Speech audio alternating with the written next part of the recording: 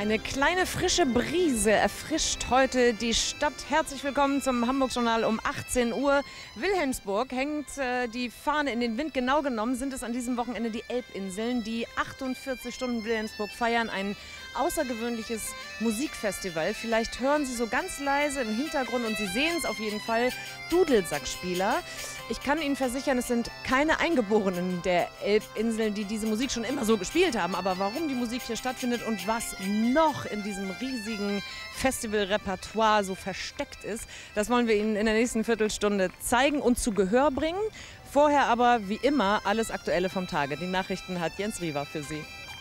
Und damit zurück zu einer bestens angezogenen Anka Hanak. Vielen herzlichen Dank. ähm, ja, es weht tatsächlich ein leichtes Lüftchen. Katja Scher, Sie sind Projektleiterin von der 48 Stunden Wilhelmsburg jetzt. Aber ich glaube, das Wetter übers Wochenende wird Ihnen in die Hände spielen, oder? Das hoffe ich. Ähm, ich hoffe, dass es noch ein bisschen weniger windet und dass es noch ein bisschen mehr die Sonne auftut. Wir haben sehr, sehr viele Wetterprognosen eingeholt und ähm, den NDR natürlich auch und es sieht gut aus. Und es gibt ja auch nicht nur Outdoor-Locations für die vielen äh, Geschichten, sondern man kann auch irgendwo mal über Dach stehen, oder? Nein, man kann äh, unter Dach stehen. Heute Abend sind wir zum Beispiel im Energiebunker im Flakturm vertreten. Ähm, der ist irgendwie zumindest teils unter, äh, überdacht und äh, wir haben natürlich viele Wohnzimmer, viele Buchhandlungen, Tattoo-Läden, das ist alles per se überdacht. Ähm, wir haben aber auch einiges an äh, Outdoor-Locations, also eigentlich ist für jedes Wetter etwas dabei. Und die erste, die jetzt gleich nach den Dudelsackspielern, die wir gerade schon gehört haben, hier auftreten wird, ist der Yildrim mit einem Instrument, das wie heißt? Das ist eine Saz. So, und jetzt stehen Sie hier im leichten Blüschen und ich darf verraten, so ein bisschen knackig ist der Wind ja doch. Ist schon ein bisschen eine Herausforderung jetzt bei dem Wetter, oder? Ja, schon. Aber ich glaube, wenn man anfängt zu spielen, dann vergisst man alles. Was kann das Publikum jetzt erwarten? So die Wilhelmsburger kommen jetzt so nach und nach, ähm, äh, kommen wahrscheinlich viele von der Arbeit jetzt, sind gespannt. Was kriegen die von Ihnen gleich geboten? Also eigentlich bin ich ja schon recht bekannt hier auf den Elbinseln dafür, dass ich türkische Musik mache. Vielleicht für die anderen oder für die meisten Leute, die jetzt hier sind, vielleicht wieder, ähm, wieder schöne Musik, die sie schon kennen. Und für andere äh, türkische Volksmusik werde ich heute spielen. Sie sind Feddelerin. Was, äh, das ist jetzt auch wirklich 48 Stunden in Wilhelmsburg nicht das erste Mal, sondern inzwischen sehr renommiert. Warum für Sie so wichtig, da mitzumachen?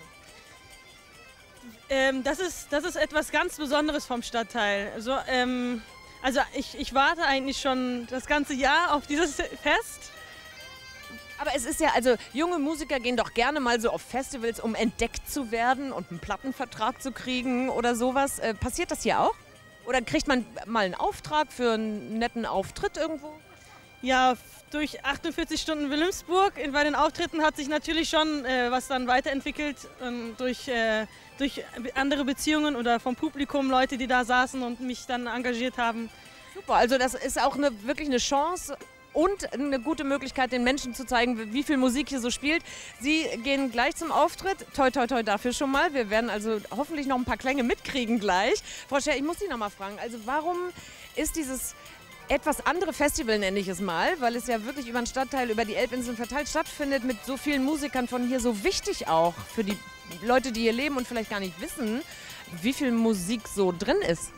Ähm, das ist so wichtig, damit man sich begegnet, damit man sich kennenlernt. Es ist ja tatsächlich so, dass hier Nachbarinnen und Nachbarn miteinander musizieren ähm, oder Nachbarn in die Wohnung von ähm, anderen Bewohnern aus Wilhelmsburg oder der Veddel kommen und äh, dazu können wir, damit können wir halt einfach ähm, ja, ganz neue Begegnungen schaffen und das finden tolle Überraschungen statt und äh, daraus gestalten sich dann halt über die Veranstaltung hinaus natürlich auch ganz, ganz viele ähm, tolle neue Bekanntschaften und Projekte.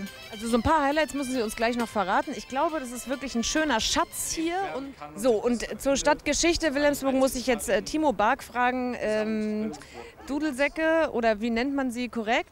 Äh, das sind schon Dudelsäcke, ja, eigentlich, äh, eigentlich eher Sackpfeifen. Das ist eigentlich der schönere Name. Sackpfeifen gehören ja jetzt nicht so zum Urrepertoire der musikalischen Ausstattung auf den Elbinseln. Wie kommen Sie dazu, das hier zu spielen? Ähm, ja, also ich spiele schon sehr, sehr lange Dudelsack, seit ungefähr 20 Jahren mit Unterbrechungen. Habe mich im letzten Jahr mit der Sackpfeifenschule in Hamburg äh, selbstständig gemacht als Dudelsacklehrer, hauptberuflich jetzt seit ein paar Monaten. Und äh, in dieser Besetzung spielen wir traditionelle Musik aus Nordspanien, aus Galizien und äh, ja, proben dort regelmäßig in Zusammenarbeit mit dem galizischen Kulturverein ACG de Hamburgo in, in Hamburg. Herr Back, ich möchte nicht indiskret sein und ich möchte auch nicht an Ihren Talenten zweifeln, aber kann man in Hamburg mit einer Sackpfeifenschule seine Miete verdienen? Das geht tatsächlich. Es ist Spannend. nicht leicht, aber äh, es geht.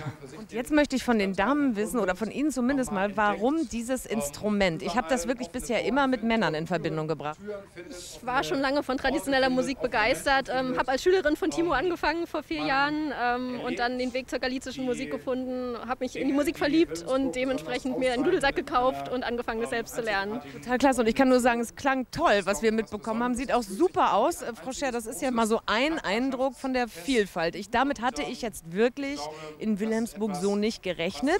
Auch nicht damit, dass Sie eine Barkasse hier nochmal schön hinlegen, auf der ja auch noch Musik läuft heute. Also ich habe so das Gefühl, Sie setzen aber auch alles in Bewegung für dieses kleine, feine Festival am Wochenende. Na klar, das ist äh, unser Job und das ist die Idee. Wir ähm, möchten ja die Bandbreite der Musikkulturen hier vorstellen. Das heißt, wir haben ähm, einfach auch viel albanische Musik, wir haben türkische Musik, sehr, sehr viel Jazz, Avantgarde-Musik, wir haben ähm, afrikanische Musik. Also da geben wir uns sehr, sehr viel Mühe, das immer breiter darzustellen, entsprechend dem Charakter des Stadtteils. Und dann aber eben auch ähm, das zu verbinden mit den tollen Orten, die es hier gibt. Weil das ist, glaube ich, auch ganz, ganz wichtig, dass man Wilhelmsburg einfach nochmal von seiner faszinierenden Bandbreite darstellt. Da gehört die Barkasse, also da gehört mindestens einmal den Wasserweg bespielen natürlich dazu, auf jeden Fall. Es klingt jetzt für jemanden, der jetzt wie Sie zu Hause sitzt, äh, so nach dem, so, das klingt so wie so viel, jetzt weiß ich gar nicht, was ich mir aussuchen soll. Äh, welchen Tipp haben Sie für alle, die in diesem Moment zum ersten Mal darüber nachdenken, diese 48 Stunden auszunutzen? Ins Internet gucken oder einfach mal loslaufen und sich überraschen lassen? Wir haben im Internet, ähm, sind wir zu finden über 48 Stunden wilhelmsburg.de. Ähm, ansonsten einfach ein Fahrrad schnappen oder in den Stadtteil kommen ähm, und äh, hier liegen überall Programmhefte aus und sich treiben lassen. Offene Ohren, offene Augen und einfach durch Wilhelmsburg treiben lassen. Wir sind wirklich an sehr, sehr vielen Stellen vertreten, auch auf der Veddel in Georgswerda, sind da mit einer Pferdekutsche fahren den Energieberg hoch.